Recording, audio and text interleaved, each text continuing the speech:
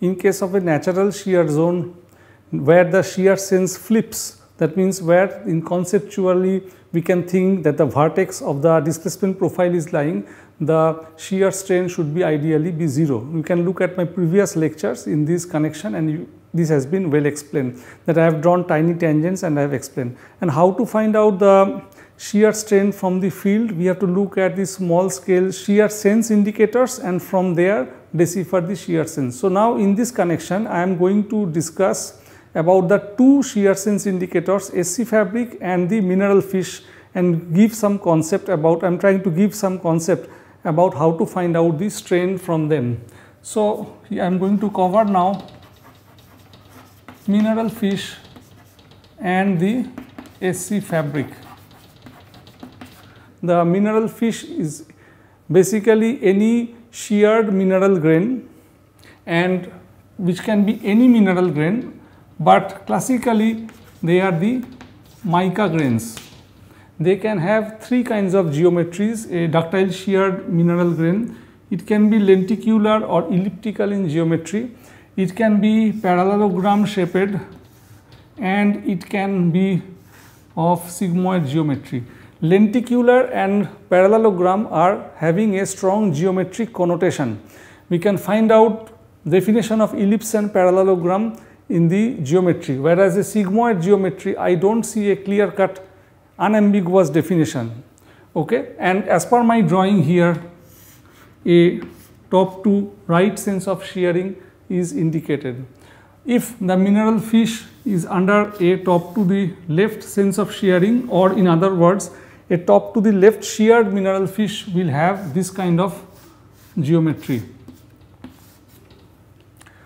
If it is a mica grain, we know that 90 percent of the cases the mica grains in thin section, if it is undeformed, it is rectangular in geometry. So, it is easy to understand that this parallelogram geometry of the mica grain has been produced from this kind of shear. The mental model is that this orange rectangle is like the starting position as if and then we applied a shear keeping keep the bottom boundary static though we never know which boundary is actually slipping so, from the rectangle parallelogram is produced. Now, this concept can be applied to find out the rotational strain. For example, here we can see this is the angle of rotation psi from the initial position to the final position and here this is the angle psi.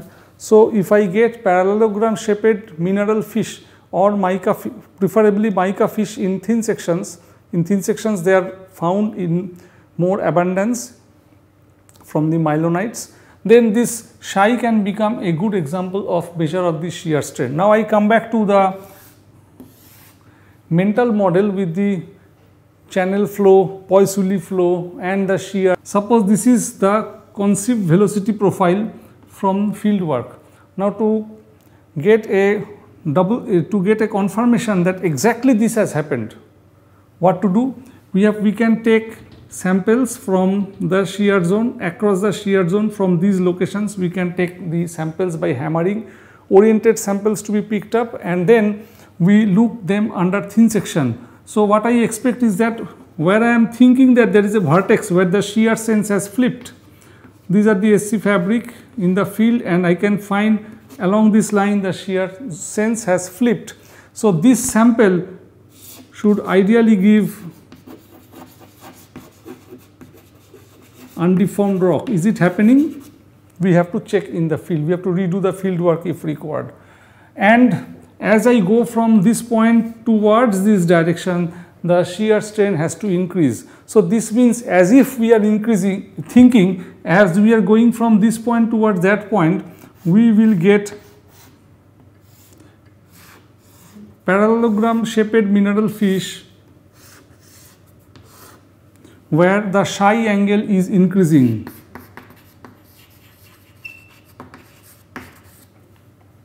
And I can tell you this will probably be not found from the ductile shear zones. creates again a big question that what we are thinking in terms of Newtonian viscous fluid parabolic profile, are we correct? Is the rock non-Newtonian fluid? Is, is it really true that a single lithology we are considering? What about if there are some strain partitioning, some part has undergone less deform, deformation, another part has undergone more deformation, the softer material has been deformed more, these questions come, but it is a healthy sign of questioning and we can move forward with these questions. We can critically talk about the shear zone that from the theoretical curve and what we find in the field and the expectation of the psi angle progressively changing from here to here increasing is happening or not happening. So, also along this line along this direction if the samples are picked up psi angle has to increase. What about at the vertex? We are expecting undeformed grains. Undeformed grains how to understand under microscope? They will not give wavy extension. They will ex extend at a single position.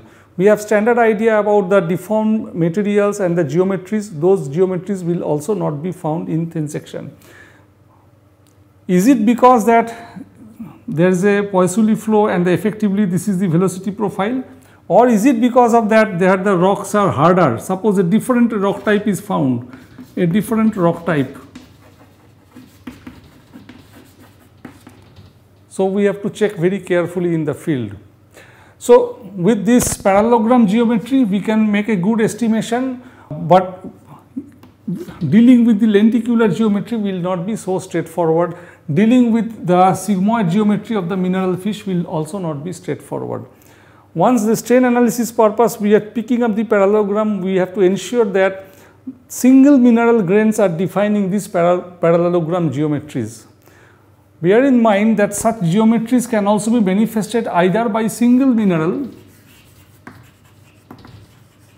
or an aggregate of minerals. If it is an aggregate of mineral giving lenticular geometry, an aggregate giving parallelogram geometry or an aggregate giving overall a sigmoid geometry, then this will be more difficult to use. So, not that we have pick up some sample, make thin section and start working with the parallelogram geometry. Things will not be so simple. Regarding the parallelogram geometry and the strain analysis, there is a word of caution. I am going to explain it right now. So, think about under thin section, you are watching a parallelogram. See, this is the problem with the beginners and that elementary problem I am discussing. This is a parallelogram geometry. Where is the psi angle? One answer will be you think that this is my mental model.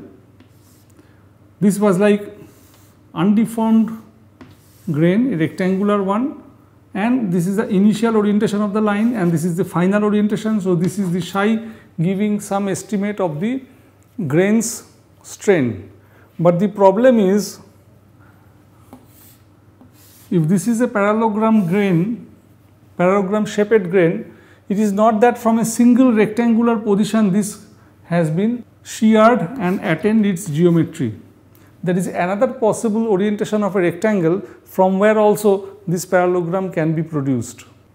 Here I have drawn the second possible orientation of the rectangle. You see this is a rectangle and if I give a shear like this keeping this boundary static then also the same parallelogram will be produced. So, should I take this as psi angle? By the way, what is the shear sense direction? So, to resolve this, you may think about it, which rectangle I should think, which half arrow I should take. Should I take this half arrow? I can redraw. Should I take this half arrow for the parallelogram or if this is the given parallelogram, should I take this as the half arrow? That also becomes crucial. So, to solve this problem, basically look at the mylonitic foliation within the thin section and suppose this is the mylonitic foliation orientation within the thin section we can we have to choose the half arrow like this whereas here if this is the mylonitic orientation mylonitic foliations primary shear C plane whatever be the term we are using C plane or the primary shear plane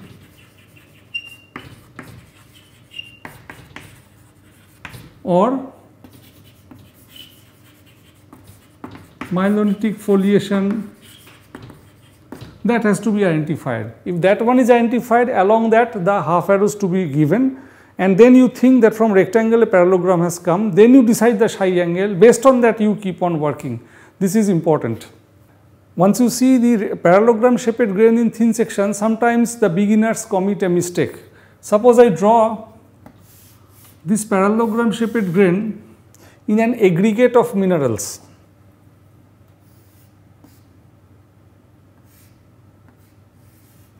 I mean to say this is my observed parallelogram shaped grain, but there is another grain that has grown on this. There is another let us say rectangular grain that has grown on this. So, since this grain has cut across that grain, this grain has cut across that grain and grown over it.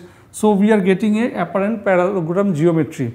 Is this parallelogram indicating any ductile shear sense? The answer is no. They are not ductile shear sense indicators. Don't pick up such parallelogram grains from the decussate texture.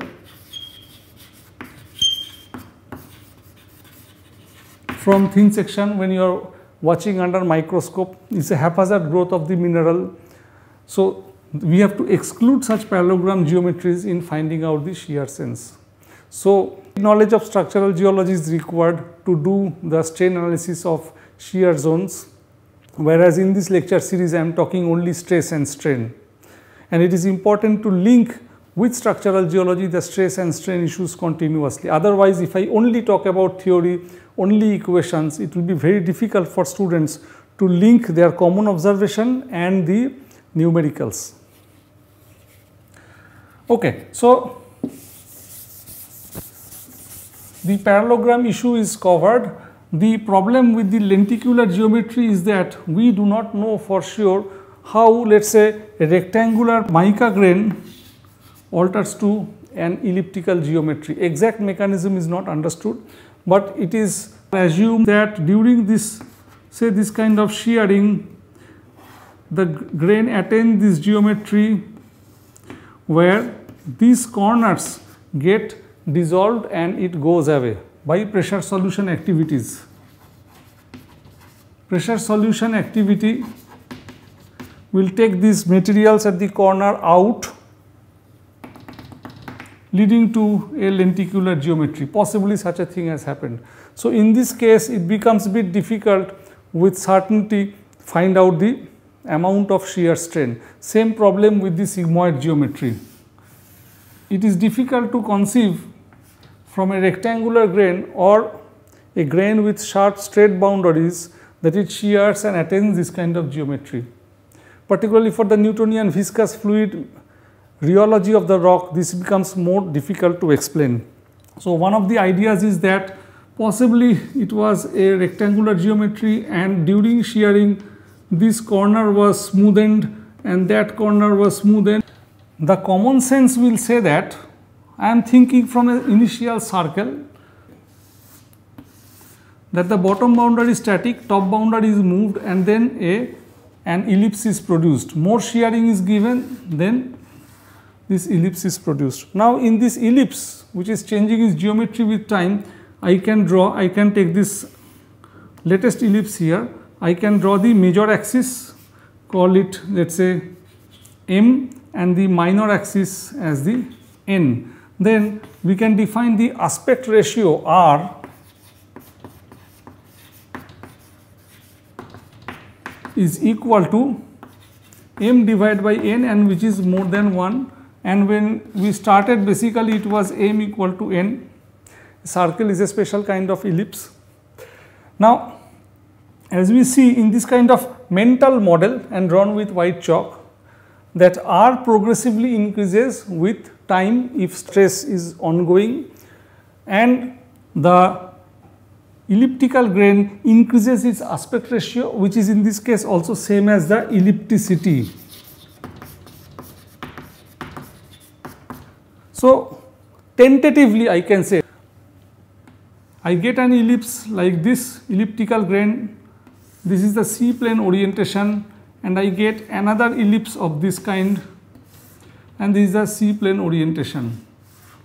This grain has got more aspect ratio than that grain. Therefore, this is more sheared. There is another thing what can be clearly be seen that if I draw the long axis, the long axis inclination is also changing with more and more shear. As more and more shear is happening, this angle is reducing. So, not only the aspect ratio or the ellipticity of the lenticular grain, but also its major axis orientation with respect to the primary shear C plane or the mylonitic foliation or the primary shear plane or the C plane angle between that C plane and this axis is progressively reduced. So, that indicates more shearing probably. So, here it is less shear higher angle and here it is a lower angle. So, it is more shear probably. So, this is one approach. We are now going to describe about the sigmoid uh, grains and the measurements and to comment tentatively that this grain is more shear sigmoid geometry is not well defined in geometry. Here we can define, we can call it if we want long axis, they say this length is m and we need another line perpendicular to it so that m divided by n we can do an aspect ratio of mineral fish we can comment. But the problem is if I draw a line perpendicular to this orange line, then its thickness actually varies within the mineral fish. So, we have to do, we have to constrain it further. So, it is my choice, it is a user's choice that I define. I will keep on thinking several lines perpendicular to the long axis and I will find out which line is having, having maximum length. Say I find this line is having maximum length and I call it as the n, n length. Then I can say m divided by n more than 1 in this case is indicating the aspect ratio of the mineral fish. Here definition of m is clear cut. In some other papers some researchers might be using might be defining n in a different way. And what is understood? As more and more shearing happens I will apply a common sense. If more intense shearing has happened this fish can look like this. So, what has happened? R will increase. The long axis length has increased. It has lengthened. And here is a thinning has happened. So, R has increased. Further one more thing has happened. The long axis angle the acute angle between the long axis and the primary shear plane has reduced. Mental model we are expecting such a thing. This is sounding quite logical that this angle is reduced. So, this angle I can call theta. What I can say? If theta is progressively falling in various measurements that will indicate a in an increasing strain situation probably and if R is progressively increasing that will increase indicate a progressive increase in shearing. Now, if I take this theta inclination of the mineral fish and the aspect ratio they can be plotted in a graph and then some interesting things can be commented. What is that? Say I plot here the aspect ratio r and here theta as the inclination. So, as more and more strain happens theta has to decrease r has to increase theta has to decrease and r has to increase something like this this kind of plot is expected. So, if in a shear zone I come back to the natural shear zone first say this is happening a portion of it indicating top to left sense of shear and a portion of it is indicating top to the right down sense of shear. Then I am thinking a mental model, this is the diagram, velocity profile. Then I am thinking near the vertex the shear strain has to reduce and as I go from here to there, the shear strain has to increase. Suppose I have picked up samples in the field here, here and here. In oriented thin sections, I am measuring theta and r of each of these samples. Then if I am getting such a trend, say this is sample 1, this is sample 2 and sample 3, 1, 2 and 3, this probably indicates increase in strain. This point is clear cut probably micas, if it is a mica grain, sigmoid mica, it can be notorious. It may not give the shear strain appropriately. So, this theta r, this kind of pattern, please note that it is a probable indicator of changing shear strain. What is the reason we do not always consider this as a very good example of change in strain? There are two kinds of fabric we can think under microscale. One is the strain sensitive fabric, another is the strain insensitive fabric.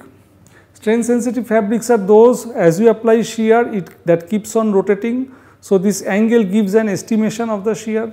Strain insensitive fabrics are those it is having it, it might have rotated then it got locked more shear happening, but this mica fish is not rotating further. So, in that case it is in strain insensitive. So, I have discussed about the lenticular geometry and I have discussed about the sigmoid geometry of the mineral fish. Let us look at now the parallelogram geometry and what can we comment. I earlier I said that we can work with the inclination of the parallelogram geometry. Now here are other details. Can we define an aspect ratio for this parallelogram geometry? We can draw a the long axis, so we call it the length is m, long axis L dot A now I need its perpendicular to this long axis a length that can give some idea about the geometry. I can keep on drawing several such lines.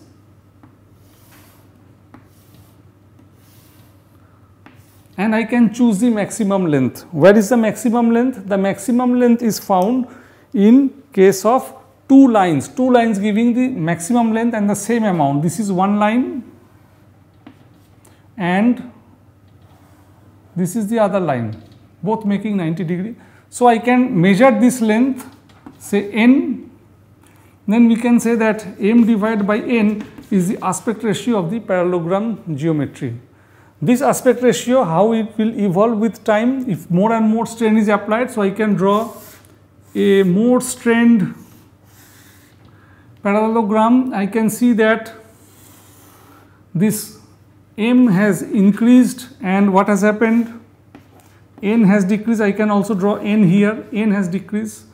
So, just like in case of a lenticular fish just like in case of a sigmoid mineral fish here in case of parallelogram fish this can indicate that the m by n equal to r this aspect ratio will progressively increase if it is a strain sensitive fabric and it will progressively increase if more and more strain, stress is shear stress is applied on the grain subject to many many assumptions. And I repeat better to go for KVN analysis for the shear, shear strain calculation rather than going for these mineral fish.